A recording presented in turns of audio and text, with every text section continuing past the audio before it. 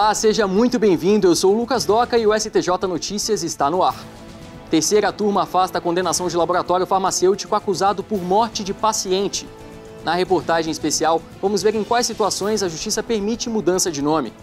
E ainda, ministro Félix Fischer negou o pedido da defesa de Lula para suspender a tramitação da ação penal contra o ex-presidente por 90 dias. O STJ Notícias começa agora, conectado a você.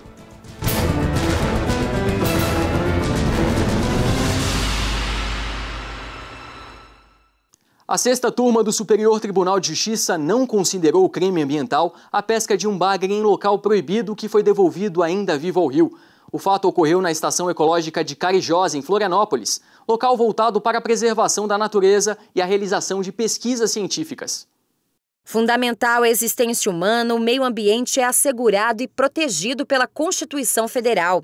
Dessa forma, todo e qualquer dano ou prejuízo causado ao meio ambiente é considerado crime. A caracterização do, do crime ambiental se dá quando é, existe uma lesão ao bem tutelado pelo direito penal ambiental. Qual seria? A natureza, o ambiente, o meio ambiente. É, é, um exemplo clássico é do artigo 48 da Lei de Crimes Ambientais, que fala da supressão de vegetação. Mas nem sempre as condutas que podem ser consideradas crime ambiental prejudicam de fato o meio ambiente. No STJ, os ministros da sexta turma reconheceram que um pescador de Santa Catarina não deveria ser condenado pela prática de pesca em local proibido, pois ele devolveu o peixe ainda vivo ao rio. O caso aconteceu na Estação Ecológica de Carijós, em Florianópolis, uma área de preservação ambiental. O homem foi flagrado por agentes de fiscalização do Instituto Chico Mendes após a pesca de um bagre que foi devolvido ao rio. Mesmo assim, o Ministério Público Federal denunciou o pescador por crime ambiental e ele foi condenado pela Justiça Catarinense. No STJ, os ministros consideraram que a atitude do pescador demonstrou a mínima ofensividade ao meio ambiente e, por isso, ele foi absolvido. A Justiça anulou uma questão da prova dissertativa do concurso para o cargo de assessor da área jurídica do Ministério Público do Rio Grande do Sul. Horas e horas de estudo aulas em cursinhos, na biblioteca, além de abrir mão de fins de semanas e feriados. Essa é a rotina de quem quer alcançar o sonho de passar em um concurso público. Caroline sabe muito bem disso. Ela estuda há um ano e está tentando seguir a carreira policial. Quando sai edital é muito difícil, é muita matéria, você tem que rever muita coisa, muito exercício que tem que fazer, que é o principal. Então fica difícil. E quando o estudante se dedica, mas chega no dia da prova e percebe que uma questão está errada. Esse professor explica que erros são comuns, mas que nem sempre é fácil reverter uma questão. As questões elas costumam ter erro, no caso, erros gramaticais, tá? erros, no caso, de correções, principalmente nas, nas, nas provas discursivas, é, rola uma certa subjetividade muito grande para a banca. E foi por causa de um erro grave que um candidato do Rio Grande do Sul entrou na justiça. Ele queria anular uma questão da prova dissertativa do concurso para assessor da área jurídica do Ministério Público no Rio Grande do Sul. O candidato alegou que a banca teria trocado saída temporária por permissão de saída, que é completamente diferente. O Tribunal de Justiça Gaúcho afirmou que o Poder Judiciário não poderia examinar o teor do item. Mas no STJ, o relator, ministro Og Fernandes, observou que o candidato não pretendia que o judiciário reexaminasse o conteúdo da questão. Para o ministro, é dever das bancas examinadoras zelar pela correta formulação das provas, sob pena de agir em desacordo com a lei e o edital, comprometendo o empenho de candidatos. Ainda segundo Og Fernandes, a hipótese analisada é uma exceção ao entendimento do Supremo Tribunal Federal de que não compete ao Poder Judiciário substituir a banca examinadora para avaliar respostas e notas dos concorrentes. Com isso, aceitou o pedido do candidato para anular a questão do concurso rejeitado o pedido da Defensoria Pública do Espírito Santo para que fosse rediscutida no Superior Tribunal de Justiça uma ação destinada à construção de um hospital ou estabelecimento exclusivo para o atendimento de dependentes químicos. Em uma ação civil pública, a Defensoria Pública do Espírito Santo fez um pedido para rediscutir a construção de um hospital exclusivo para dependentes químicos no estado. A Defensoria alegou violação do direito à saúde, apontando a pouca eficiência do poder público em combater o tráfico de drogas. Mas a segunda turma rejeitou o pedido da Defensoria Pública. De acordo com os ministros, esse é um caso de competência do Supremo Tribunal Federal, o STF. Isso porque, em primeira instância, o pedido foi julgado procedente. Só que o Tribunal de Justiça do Espírito Santo reformou a sentença, argumentando que o pedido não fosse acolhido. O Tribunal Estadual aponta que o ato ofenderia o princípio de separação dos poderes, ressaltando que o Judiciário não tem como definir prazos de licitação ou mesmo garantir recursos para a obra. A presidente da segunda turma do STJ, ministra Suzete Magalhães, não reconheceu o direito da defensoria e declarou que não é possível apreciar a matéria sem passar à frente da competência do STF.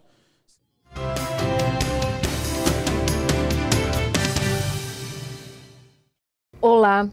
No STJ Entrevista, o especialista tira dúvidas sobre pensão alimentícia. No programa STJ Cidadão, o tema será direito autoral. O programa vai ao ar às segundas-feiras, às oito e meia da noite pela Rádio Justiça. E nos intervalos da emissora, você confere o Momento do Consumidor. Nesta semana, a gente fala do entendimento do STJ sobre o reajuste de planos de saúde individual ou familiar com base na mudança de faixa etária. Saiba seus direitos e muito mais, acompanhando a programação da Rádio Justiça e também a nossa página na internet soundcloud.com/stj Notícias. Depois do intervalo, vamos mostrar como é o processo de mudança de nome. Aqui no estúdio eu converso com a advogada de Direito de Família, doutora Samara Derzi. Não saia daí, eu volto já.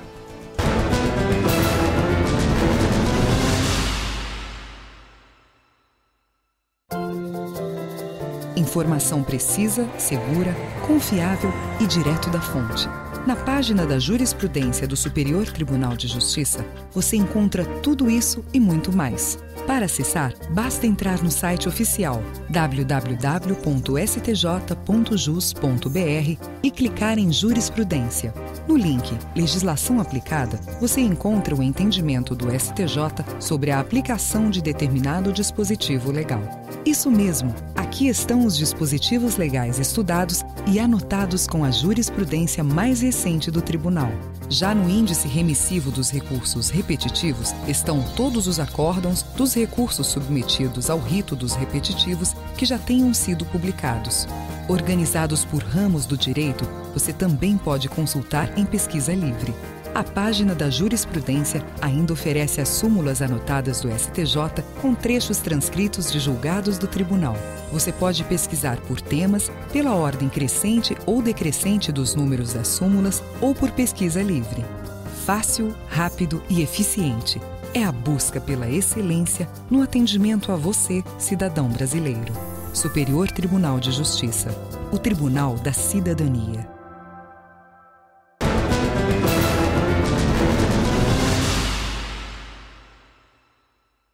Estamos de volta com o STJ Notícias. O nosso nome é mais que um simples acessório, ele nos acompanha por toda a vida. Mas em alguns casos, o que deveria ser motivo de orgulho causa constrangimento. E aí a mudança de nome passa a ser o desejo de algumas pessoas. Mas essa alteração é simples? Como é o processo? Para esclarecer estas e outras dúvidas, eu recebo aqui no estúdio a advogada de Direito à Família, doutora Samara Derzi. Seja muito bem-vinda ao STJ Notícias, Samara. Muito obrigada pelo convite. Antes da gente responder as perguntas dos internautas que eles enviaram pelas redes sociais, eu convido a senhora e a você aí em casa a assistirem comigo uma reportagem sobre o tema. Vamos dar uma olhada? Nome próprio. Escolha dos pais que quase todo mundo carrega ao longo da vida até o último dia. Do RG até a carteirinha do clube, não tem um documento em que ele não apareça. Mas e se você quiser escolher outro nome? Ou se precisar mudar de nome mesmo? Existe o princípio da imutabilidade do nome civil, que defende a manutenção do nome de registro. Ainda assim, a Lei 6015 permite alterações em vários casos, e uma boa parte deles aparece aqui, no cartório de registros.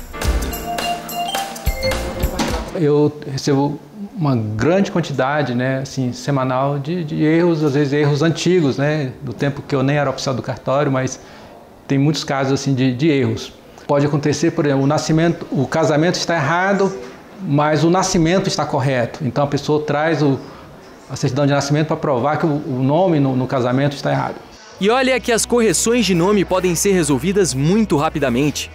Erros de acentuação ou de digitação que estejam óbvios podem ser corrigidos direto no cartório e levam até cinco dias para serem aprovados. Outros casos são bem mais complexos. Quando a pessoa, por exemplo, não está satisfeita com seu nome, ou o nome causa algum constrangimento, aí eles, esse caso precisa de a justiça para alterar esse, esse nome.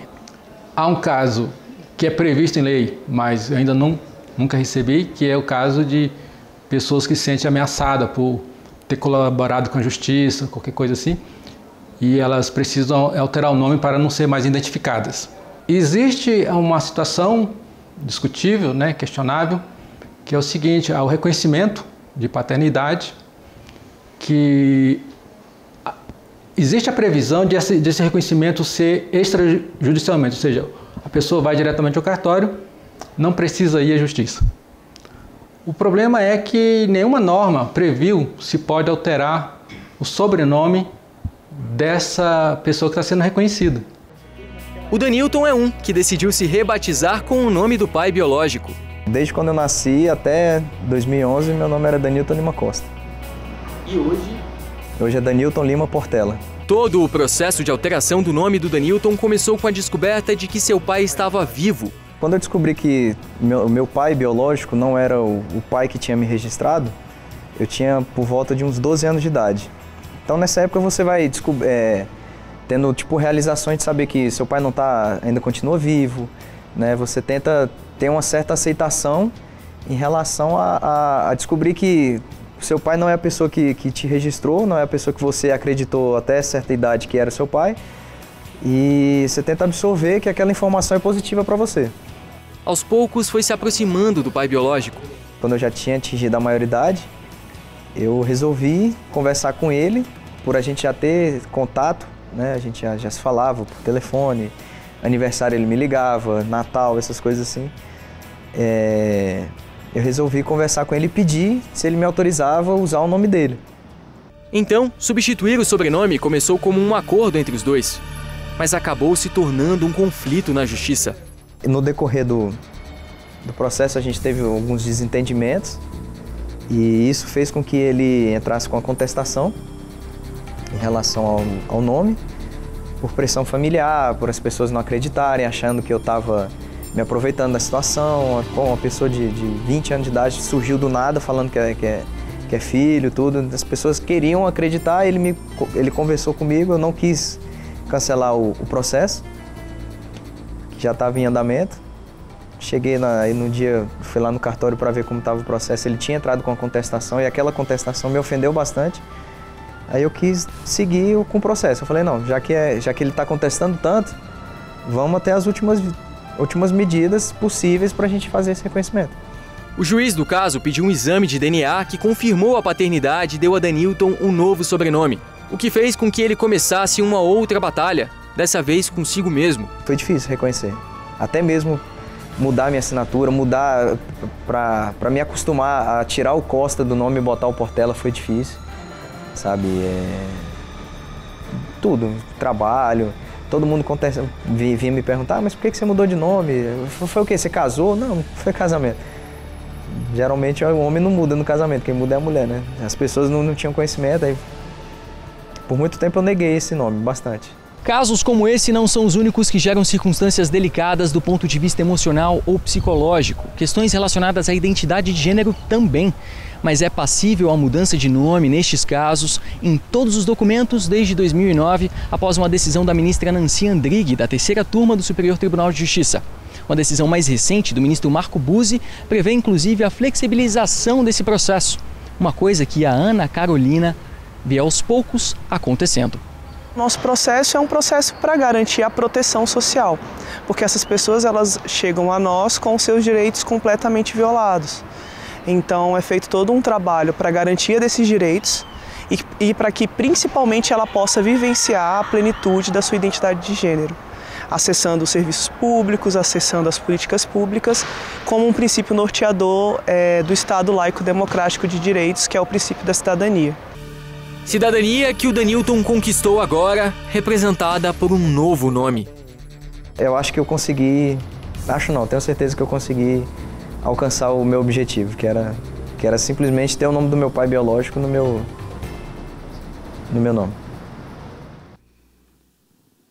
Pois é, doutora Samara, a gente recebeu muitas perguntas sobre casos como o do Danilton, de pessoas que querem incluir o nome do pai, da mãe, às vezes até o nome da avó no sobrenome. O que, que a pessoa tem que fazer nesses casos? Então, primeiramente é importante informar que o nome é um direito personalíssimo né, de todo indivíduo. E esse direito ele decorre do princípio é, da dignidade humana, né, previsto em nossa Constituição Federal. Para ser realizado, é necessário, nesse caso de inclusão, é necessário que as pessoas elas entrem em juízo para solicitar essa alteração ou essa inclusão, né, de acordo com o seu justo motivo apresentado, demonstrando provas para que isso seja realmente deferido em juízo e também após ouvir o Ministério Público sobre o caso. Ok, muito obrigado. Nós vamos então ver as perguntas dos nossos internautas. A primeira pergunta é do Anderson Santana. Eu gostaria de saber se posso alterar a primeira letra do meu nome de W para U, porque eu uso este U na escrita do meu nome somente em redes sociais para não haver erros ao expressar o nome, né? para que as pessoas não confundam realmente a grafia uhum. do nome dele. Nesse caso, como é que ele pode proceder? Então, nesse caso, se o erro foi um erro gra é, de grafia e for de fácil constatação, ele basta que ele é, se dirija ao cartório onde foi registrado e peça essa, essa alteração, demonstrando, é claro, o erro, né, comprovando, faz tudo pelo cartório, é simples. Mas, se não for um erro de fácil constatação, nos demais casos, será necessário também é, adentrar em juízo para solicitar a retificação por conta dos constrangimentos que ele possivelmente sofre. Ok, então vamos para a próxima pergunta é a pergunta da Jaqueline Pacheco, também enviada pelo Facebook. Ainda que a pessoa tenha um nome normal, por exemplo, Ana, se ela quiser, ela consegue facilmente trocar esse nome, doutora? Então, o nome, como eu falei, é um direito personalíssimo. Né? A mudança é possível sim, mas a regra é a imutabilidade do nome. Para que ela consiga trocar, alterar ou inserir algum outro nome na, na, no seu registro civil, é necessário também que ela é, uma ação através uma, da ajuda do auxílio de um advogado ou da procuradoria, ou melhor, da defensoria pública, perdão, e realize todo o processo, demonstrando o porquê da mudança. Tem que demonstrar o motivo, né? É, tem que existir um motivo justo para aquilo. E, enfim, o Ministério Público também vai ter que atuar no processo para é, dar o, o, ok, dar o, o aceite, digamos. Perfeito. Vamos então para a próxima pergunta a pergunta da Carol Almeida, também enviada pelo Facebook. Gostaria de saber em relação à alcunha, como comprovar o uso, como proceder essas alterações e o procedimento que deve ser adotado. Eu achei interessante, inclusive, doutora, que a senhora explique alcunha para gente. Então, alcunha é um apelido. Vou citar um exemplo: Xuxa, Pelé, são alcunhas. Lula. Lula, exatamente. Que foi incluído no nome né, de registro exatamente, dele. Exatamente, exatamente. Para que seja incluído, é necessário que essa, essa alcunha ou esse apelido seja público e notório. Tá? Não pode ser apenas porque você gosta. O da rua, não, do bairro, não vale. não pode, não pode. Então, se for um apelido público e notório, é necessário essa comprovação. Nos casos de pessoas públicas, como a gente mencionou, Xuxa, Pelé, esse procedimento pode ser um procedimento administrativo necessariamente. Mas, quando não ocorre, é necessário comprovar em juízo também para que seja alterado. Ok. Então, o processo em si é o mesmo. Tá? É, comprovar o justo motivo da alteração, no caso do, do público a, a, o apelido ser público notório, facilitará então essa alteração do nome. Fica mais fácil de comprovar, né? Exatamente, fica mais fácil. Perfeito. Vamos para a próxima pergunta então. Essa foi enviada pelo WhatsApp do Diogo de Lagoa dos Gatos, Pernambuco. O nome da minha esposa é Maria de Fátima, porém, desde o seu nascimento, seus pais a chamam de Mônica. Poderá ela, aos 43 anos, modificar o nome ou incluir Mônica no registro, doutora? Poderá, sim. É, inclusive, existem precedentes sobre esse tema e já foi mencionado que essa situação é um justo motivo para que seja alterado o nome, pois no registro tem um nome, só que todos a conhecem como outro, outro nome. nome. Então, a pessoa já se, não se sente como aquilo que está no aquilo documento. Aquilo que está né? no documento. Então, é possível, basta juntar toda a documentação, no caso, nesse caso seria testemunhal, né, demonstrar o que ocorreu e fazer pedir a solicitação da alteração. Muito bem, doutora. Nós vamos agora para a nossa última pergunta. É a pergunta enviada pelo Luiz Maia, de Maceió, Alagoas. Será possível a retificação de registro civil para uma criança menor de idade em caso de nome muito extenso, um nome muito longo? Sim, é possível essa alteração. É, uma criança ela pode né, representada, devidamente representada ou assistida pelo, pelo seu pais, no caso, seu representante legal, é, adentrar em juízo para solicitar essa retirada. Também, pessoal, tem que mostrar o justo motivo, tá? É, para ajuizar qualquer ação para mudança do nome por ele ser um, é, em regra imutável, é necessário comprovar essa mudança, o porquê dessa mudança.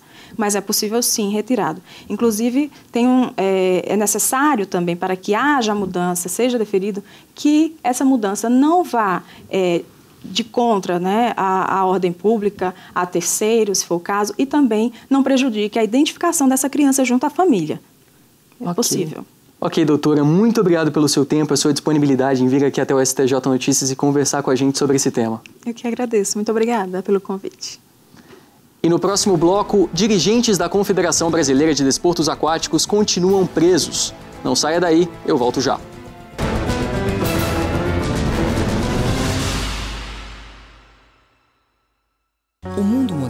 Gira em torno da velocidade da informação que precisa ser segura e confiável.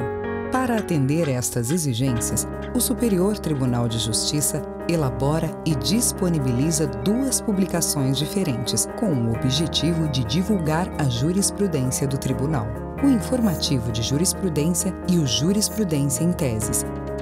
Para acessar o informativo, basta entrar no site oficial www.stj.jus.br clicar em Jurisprudência e, em seguida, em Informativo de Jurisprudência. Aqui você acessa as informações mais recentes sobre súmulas, recursos repetitivos e outros julgados selecionados. E pode consultar por edição, por data, com arquivos organizados em ordem cronológica e reunidos de acordo com o ano de publicação, ou separados de forma temática, por ramos do direito. Também é possível fazer pesquisa livre por assunto. Outra publicação quinzenal do STJ é o Jurisprudência em Teses, um caderno temático elaborado a partir da análise de toda a base de acórdãos e decisões monocráticas do Tribunal, onde você encontra os entendimentos existentes no STJ sobre temas específicos selecionados de acordo com a relevância jurídica. Você pode consultar as teses por edição e separado por ramos do direito, ou fazer uma pesquisa livre por assunto fácil, rápido e eficiente.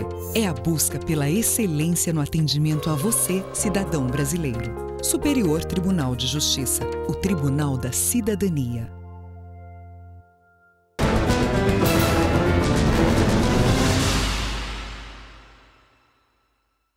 Dirigentes da Confederação Brasileira de Desportos Aquáticos têm pedido de habeas corpus negado pelo STJ.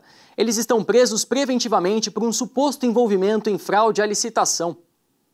Segundo o Ministério Público Federal, houve fraude na licitação para a compra de equipamentos para nado sincronizado e polo aquático na preparação para as Olimpíadas Rio 2016. O presidente da Confederação, Coaraci Nunes, o diretor financeiro, o coordenador da área de natação e o coordenador de polo aquático são acusados de má administração de dinheiro público. A defesa alegou que a prisão preventiva seria ilegal e pediu a liberdade para os quatro.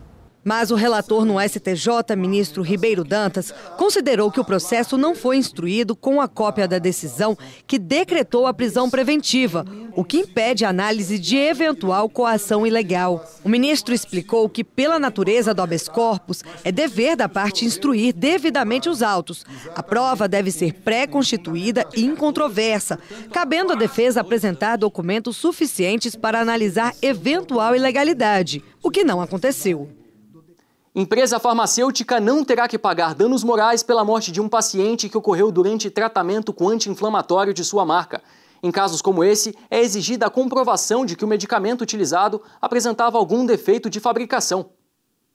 Por unanimidade, os ministros da terceira turma do STJ aceitaram um recurso especial de uma empresa farmacêutica e afastaram condenação por danos morais. A empresa teria que pagar mais de 600 mil reais à família de um paciente que utilizou um medicamento fabricado pelo laboratório e morreu por complicações de uma insuficiência renal. A esposa e os filhos do paciente alegam que o homem começou a apresentar problemas renais depois do início do tratamento com um anti-inflamatório produzido pela empresa farmacêutica e que o médico que atendia o paciente acreditava que a complicação poderia ter ocorrido por causa do medicamento.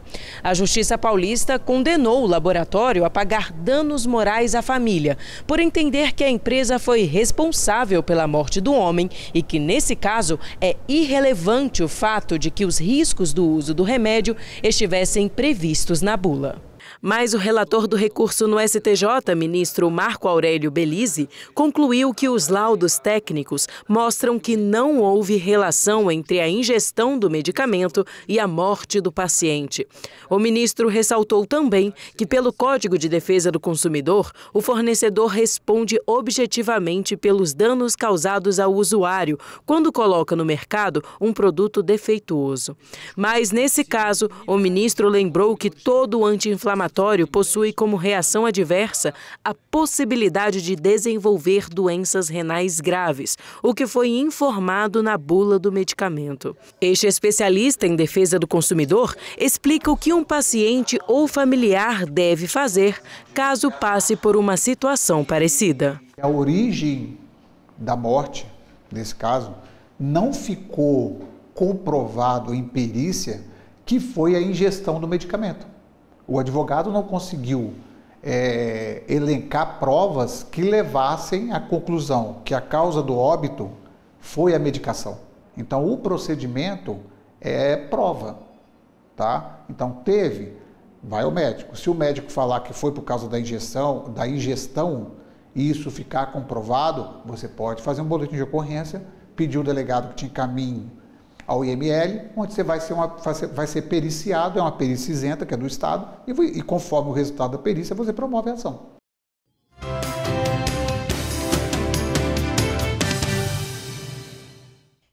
O ministro Félix Fischer negou três pedidos de liminar em habeas corpus da defesa do ex-presidente Luiz Inácio Lula da Silva. No primeiro, a defesa pedia suspensão do processo por mais 90 dias para analisar documentos entregues pela Petrobras. Para o ministro, não há previsão legal para a suspensão da ação penal para análise de documentos. Também foi negado o pedido para que a audiência de Lula com o juiz Sérgio Moro fosse gravada de forma autônoma. Quanto ao terceiro habeas corpus, que questionava a competência e imparcialidade do juiz Sérgio Moro no processo, o ministro Félix Fischer ressaltou que não há ilegalidades que possam justificar o afastamento do magistrado da ação penal. E na quinta turma, os ministros negaram pedido de liberdade a três empresários do interior de São Paulo que foram condenados a cinco anos de prisão por sonegação de contribuição previdenciária e crimes contra a ordem tributária que causaram prejuízo de 2 bilhões de reais aos cofres públicos. O relator, ministro Reinaldo Soares da Fonseca, entendeu que a prisão dos empresários é necessária para a manutenção da ordem pública. O STJ Notícias termina aqui. Na semana que vem, novas decisões dos ministros do Tribunal da Cidadania. Você participa do programa enviando sugestões de temas ou perguntas por meio da página do STJ no Facebook ou por uma mensagem no WhatsApp. E ainda acompanha o que acontece no tribunal pelas redes sociais e pela página na internet. Obrigado pela companhia e até a próxima semana. Tchau!